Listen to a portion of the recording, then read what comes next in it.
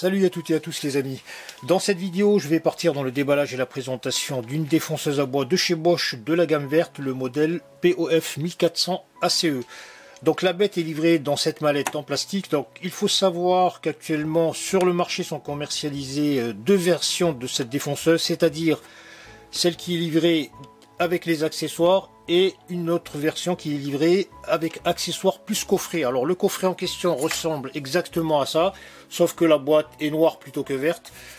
Et à l'intérieur, vous aurez exactement ces six fraises dont je vous mettrai euh, le détail dans la partie description de la vidéo. La mallette est livrée scellée sur la partie haute à l'aide d'un serre-fil, ainsi que sur les deux côtés à l'aide de deux étiquettes. Au niveau du coffret, on a une boîte qui est usinée dans du plastique. C'est du PVC très dur et très costaud, doté d'une poignée pour le transport. Donc au niveau du poids, on est sur une machine plus accessoire qui pèse relativement lourd.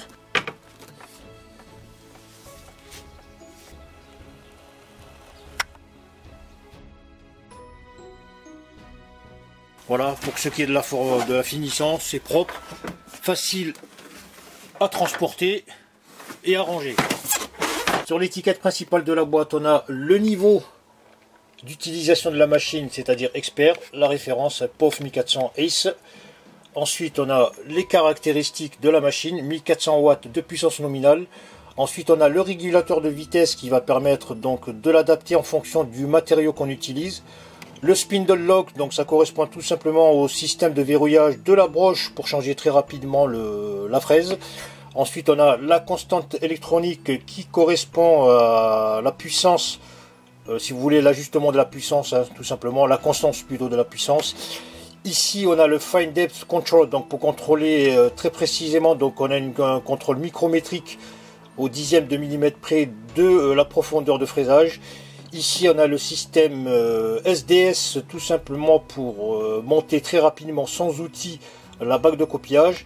Et ensuite, on a le système donc d'éclairage pour éclairer la zone euh, qu'on usine tout simplement. À l'intérieur du bundle, on a bien sûr le manuel en plusieurs langues, dans lequel il y a une brochure publicitaire de chez Bosch,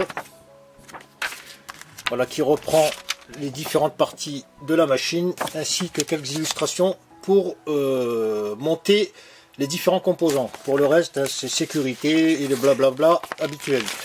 Ensuite, on a tout en aluminium la clé de serrage, desserrage de la broche. Donc c'est la partie dans laquelle on va intégrer la fraise. Ensuite, on a la bague de copiage.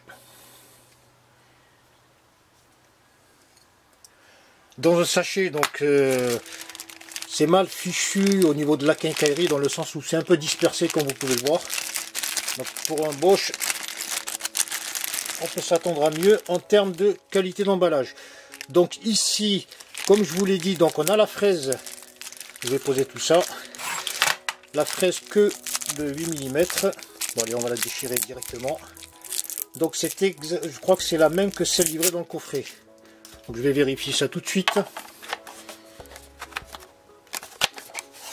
donc là voici fraise droite, voilà c'est la même, donc j'en ai deux, ça servira toujours. Donc ça c'est la, pointe de centrage. Je vous montrerai à quoi ça sert tout à l'heure. Avec vis papillon. Les petites vis pour fixer euh, le petit guide. Et ensuite on a bien sûr les je vais dire les clés de serrage, les, les pinces de serrage. Donc en acier cette fois-ci. Alors on va dire que ce sont les adaptateurs ou des mandrins, pour bien comprendre, comme sur les perceuses, pour adapter des fraises de diamètre différents. Voilà, ensuite qu'est-ce qu'on a Bien sûr, la butée parallèle avec ces deux barres, ces deux guides. Voilà, tout en alu, c'est propre. Voilà, et pour le reste, il y a cette petite... Euh, alors ça, je vais l'appeler la terminologie des fabricants, des fois c'est un mot, des fois c'est toute une phrase. Alors ça, c'est tout simplement le guide du guide qui va permettre, à l'aide de cette roulette, hein, d'être juste, de pouvoir faire coulisser, j'allais dire le chariot, le, la butée parallèle, le long euh, de l'objet qu'on travaille. Donc ça va se monter comme ça, je le montrerai tout à l'heure, je vous montrerai, parce que comme ça c'est pas pratique à comprendre.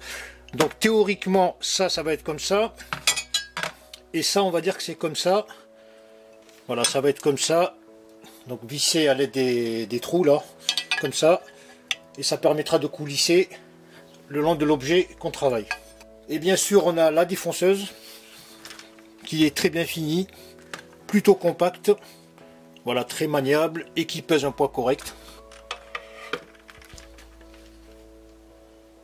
Voilà, à présent, je vais faire un tour de la machine, question de vous montrer euh, la qualité de construction ainsi que les différents composants sont sur la bête. Et à commencer par le câble, dont je vous mettrai la longueur exacte sur en bas de la vidéo. Donc c'est un câble, on va dire, générique et usiné avec un revêtement plastique PVC très dur. J'aurais préféré un câble avec le revêtement en gomme ou en silicone, très très souple, hein, plutôt que ce type de revêtement qui à la longue donc euh, conditionne le câble à se torsionner. Voilà concernant le câble, c'est vraiment du basique. Ensuite on a les poignées, donc droite et gauche par rapport au logo bien sûr du fabricant, avec le système de revêtement qu'ils appellent chez Bosch euh, Soft Grip.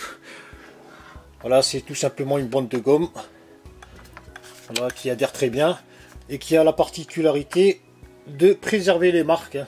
J'en ai fait pas mal il y a un peu plus d'une heure, elles y sont toujours, donc il suffit d'un petit choc et elle préserve donc, elle mémorise la marque très longtemps. Vous voyez, ça a été fait plus d'une heure, c'est encore ici. Voilà, au niveau des poignées, elles sont bien ergonomiques. Voilà, très confortable, il n'y a rien à dire.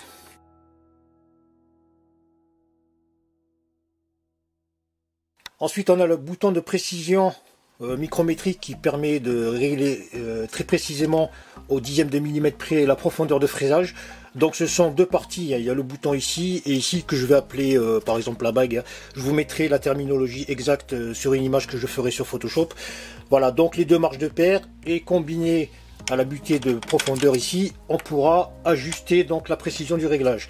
Voilà, donc si je tourne le bouton, vous remarquerez qu'il y a un soulèvement une descente de la machine. Là, je descends. Et dans le sens inverse, je remonte. Voilà, donc ça ressemble à ça. Donc en deux parties, comme je vous l'ai dit, le bouton et la bague ou le bouton de réglage euh, micrométrique. Donc chaque graduation ici, je pars du zéro. Voilà, correspond à un dixième de millimètre. Donc un dixième, deux dixièmes, trois dixièmes, quatre dixièmes, un demi ou cinq dixièmes, etc. Voilà, ça marche de pair avec le système, donc la butée de profondeur. Ensuite, sous le bouton de réglage, on a une échelle graduée en millimètres et en pouces. Voilà, qui est imprimée. Alors, au niveau de la matière, je ne sais pas si c'est du plastique ou de l'alu. Voilà, vraisemblablement du plastique à très fin. Voilà à quoi elle ressemble.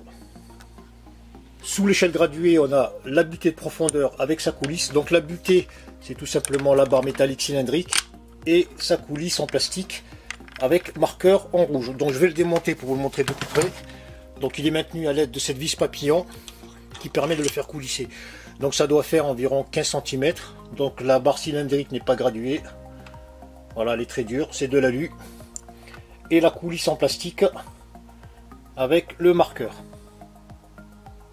Sous la butée de profondeur, on trouve la butée de niveau. Donc c'est cette butée étagée tout en aluminium, maintenue en son centre par une vis. Elle est composée de 7 paliers. Elle va permettre de régler la profondeur de fraisage ou de passe, tout simplement couplé avec le bouton euh, micrométrique.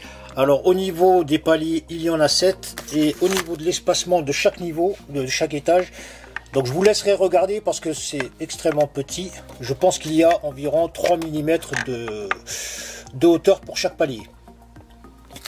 Je continue avec les deux manchons noirs rigides en plastique.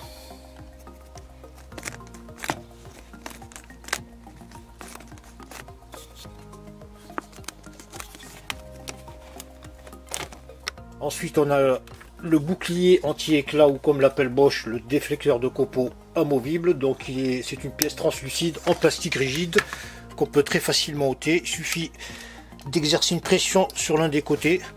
Voilà, il préserve, il a une certaine forme de souplesse, mais il est plutôt rigide.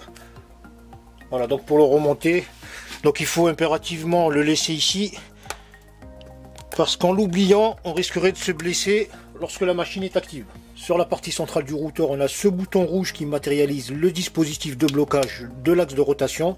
Donc là, quand je tourne, il y a la broche ou le mandrin, on va dire, qui tourne en même temps que l'axe. Donc pour monter ou démonter une fraise, il faut impérativement appuyer sur le bouton rouge. Donc déjà, je fais comme ça. Et à partir de là, à l'aide de la clé fournie, je vais pouvoir dévisser ma broche, la changer ou tout simplement adapter une fraise. Ensuite, on a la base composée de deux semelles. La semelle supérieure en aluminium. Ici, la flèche qui indique la rotation de la fraise. Et la semelle inférieure d'environ 6-7 euh, mm d'épaisseur, tout en PVC, est maintenue par quelques vis.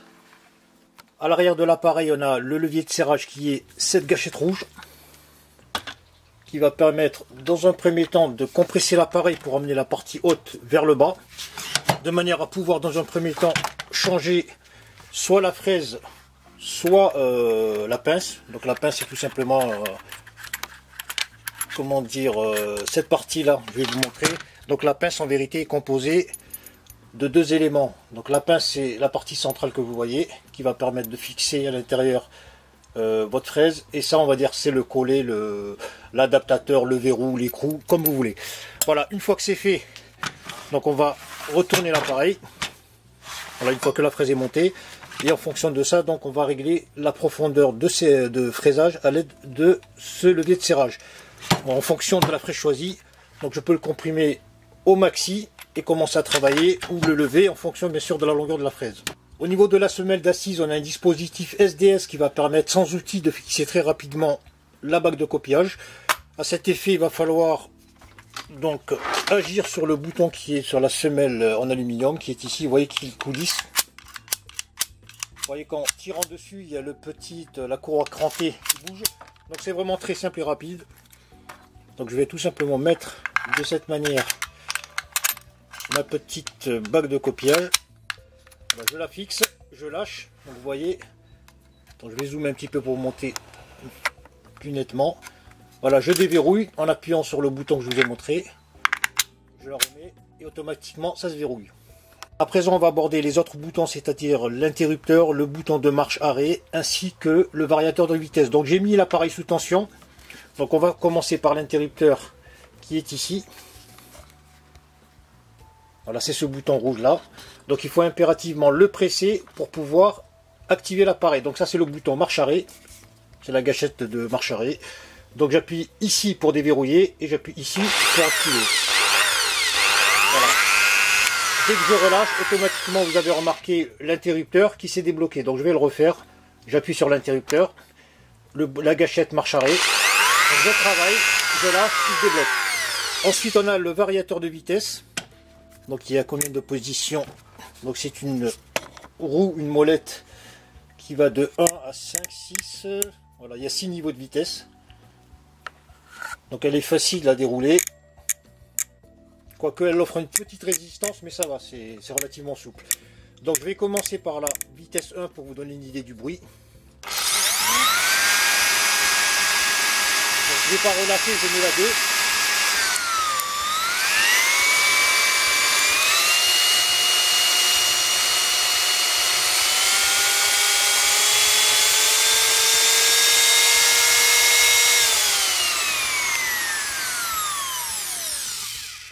Je vais vous montrer la vitesse de rotation donc au niveau 1. Donc interrupteur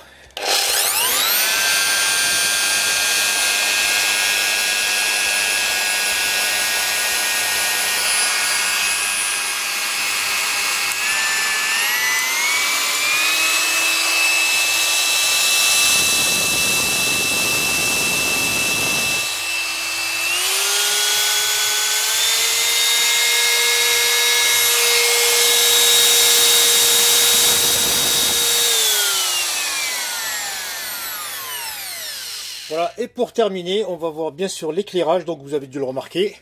Donc je vais mettre l'appareil sur le niveau le plus bas, parce que c'est très bruyant. Voilà, donc l'éclairage qui s'active lorsque donc on appuie sur le bouton, on met la machine en marche tout simplement. Donc il y a deux LED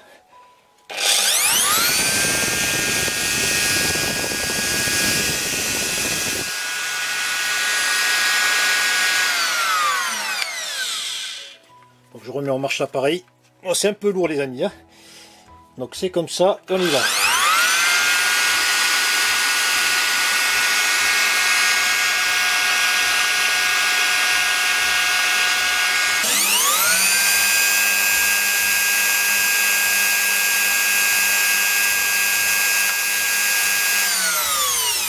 À présent, je vais aborder le reste euh, des accessoires, à savoir la butée euh, parallèle qu'on peut sur cette machine adapter soit d'un côté, soit de l'autre, c'est-à-dire côté euh, vis papillon ou côté opposé, très simplement en la faisant coulisser dans les tunnels.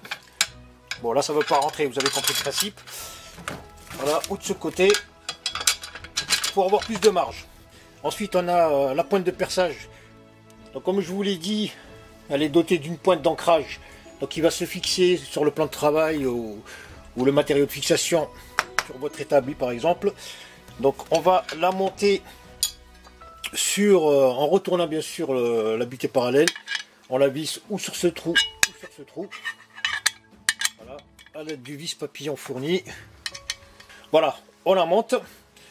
Donc au préalable, à l'aide d'une perceuse, d'un pointeau, vous faites un petit trou d'ancrage dans lequel vous allez fixer la pointe vous montez la butée sur votre euh, machine, vous serrez les vis papillons et à partir de là vous allez pouvoir tracer ou des arcs ou des cercles.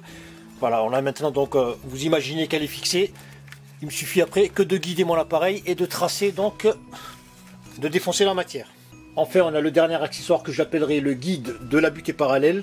Alors la butée parallèle, comme vous le savez, elle est dotée d'une façade droite qui permet de défoncer la matière de matière rectiligne. Grâce à cet accessoire, on va pouvoir, euh, donc en fonction de la courbure d'un objet, de reproduire la même courbure en utilisant donc cet accessoire, donc qui est doté d'une petite roue.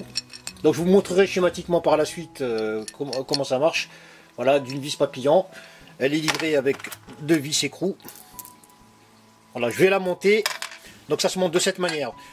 Voilà, donc comme ça, comme ça donc sur les deux trous du, j'allais dire du châssis du, plateau là, de cette manière. Voilà, le dispositif est monté, ça ressemble à ça. À partir de maintenant, on va imaginer que j'ai par exemple une feuille de contreplaqué de 20 mm par exemple, qui est usinée de cette manière. Voilà, et que je souhaite reproduire, euh, défoncer la matière par exemple, en suivant la courbe de euh, mon objet. Je tout simplement, donc, donc je règle bien sûr la fraise pour qu'elle arrive ici. Bon, imaginez que la courbe est un peu plus loin. Donc à partir d'ici, vous voyez que j'ai la roue. Donc en conduisant, euh, j'allais dire ma manette, euh, ma défonceuse, donc je vais suivre la courbe naturelle de l'objet et en même temps la reproduire ici. Voilà tout simplement à quoi sert euh, ce guide de butée parallèle. Et pour terminer, je vais très rapidement aborder le réglage de la fraise sur cette défonceuse. Alors, manque de peau, c'est tombé sur moi. Je ne l'ai pas vérifié au préalable, c'est que la pince de 8 mm en vérité ne fait pas 8 mm, donc un défaut.